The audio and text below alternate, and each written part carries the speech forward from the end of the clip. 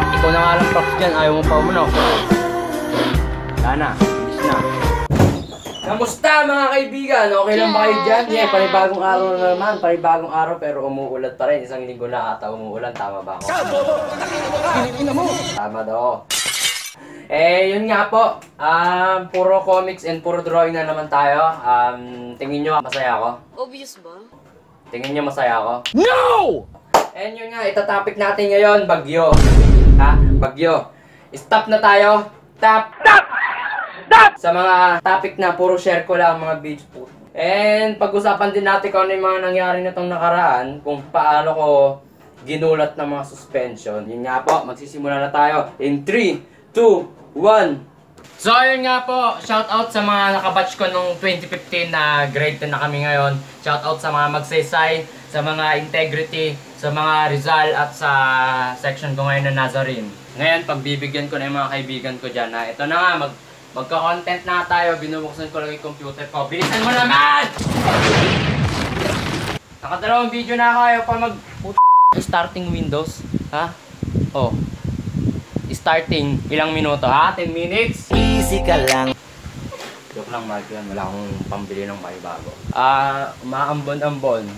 And pag-uusapan natin to, okay, magsimula tayo sa anong anong date ba nagsimula tong mga suspended na putang na 16, tas 17, 18, 19, 20, walang pasok. 4 days, 16, inasahan ko na wala talagang pasok kinabukasan.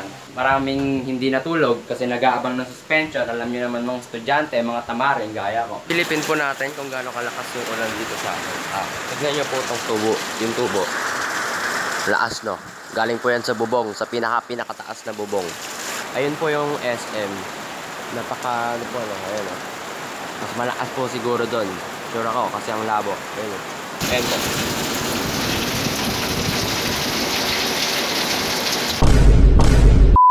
Tuloy-tuloy pa rin yung ulan hanggang sa 18.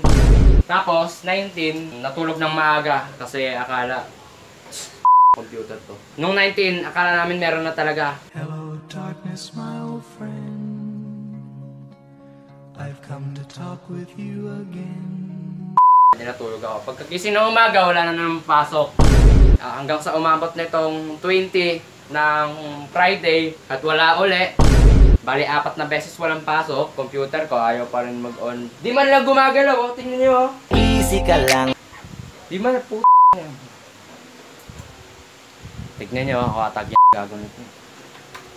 Yes! Bumukas rin sa wakas! Tingnan mo ka. Yeah, welcome. Welcome, gago. Pag-usapan natin itong mga bagyo. Una, si Bagyong Gardo. Mali ka niyang kapatid! Live po ngayon sa sa Og Marilao, Bulacan. Kung naririnig niyo po kung gaano kalakas ang ulan. Ayan na po. Bobo! Teka, teka, ang lakas ng hangin. Nasundan ni Bagyong Henry. Kasi kahapon may nakita lang akong pic. Tignan nyo tong, tignan nyo tong pic na to.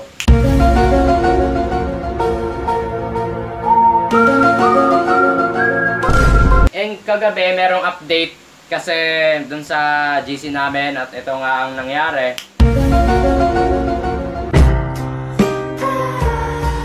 And ito, tignan natin yung image ng SM Marilao kanina at sa kahapon.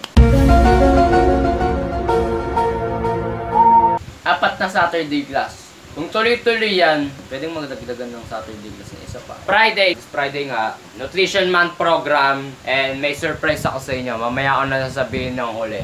Medyo kinakabahan ako. Okay, may suggest lang tong si aking kaibigang Juliana Micaela Donato ng aming Opay Squad. Gaya ng Yolanda, conspiracy theory lang to ito ah. ha. Hindi hindi ko sinasabi at hindi namin sinasabi na totoo to ah, at hindi kami mga baliw. Theory. Theory means opinion mo. Okay? Yeah. Etong Yolanda daw, eh, kay, kay Donato ko nalaman to. Eh, nalaman din ni Donato to sa conspiracy theory. Kaya wag nyo kami sisisihin, hindi kami baliw, okay? Pag-usapan natin tong mga man-made, ano daw, kapatid! man-made Mali ka niyang kapatid! typhoon. Mga, ah, teka, teka, experimental, Mali ka niyang kapatid! teka lang, teka lang ha. So, ayun, hahanapin na nga po natin, no? Lapit na tayo. Ito na nga, ito na. Hindi pa, hindi pa. And ito nga. Yes, nahanap ko din. Yung sunod-sunod na bagyo dito ay experimental engineered storms ng USA tulad ng bagyong Yolanda. Conspiracy theory lang din yon. Okay.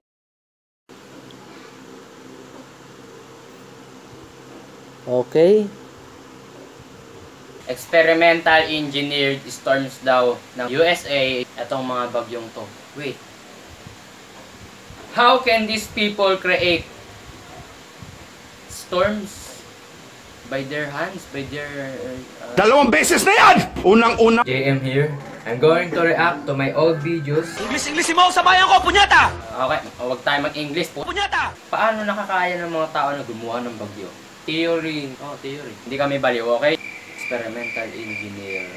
Don't worry, magre-research ako sa mga ganyan. Hindi lang ako interesado na manood sa mga ganong-ganong klase ng science. Pero I like science. I love science. Paano kung malapit na yung pasok nyo? Kunwari, pasok nyo ay 7, 7. Nagising ka ng mga 6. And hindi ka kumilos simula 6 hanggang 6.50 dahil naghihintay ka nga ng suspension. And biglang nagkaroon ng pasok. Paano yan mga bay? And hindi naman baha sa inyo. Nakakilabot naman tong computer na to. Hindi baha sa inyo pero may pasok.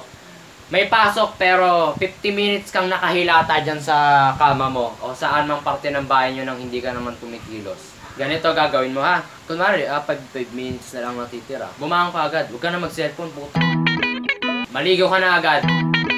Kunwari, paano kung kanin yung almusal mo? Habang bumabiyahe ka, kainin mo yon. O kaya, kung may free time sa school nyo, kung wala pang teacher, kainin mo. Doon ka na mag-almusal. Ba't ako matatakot?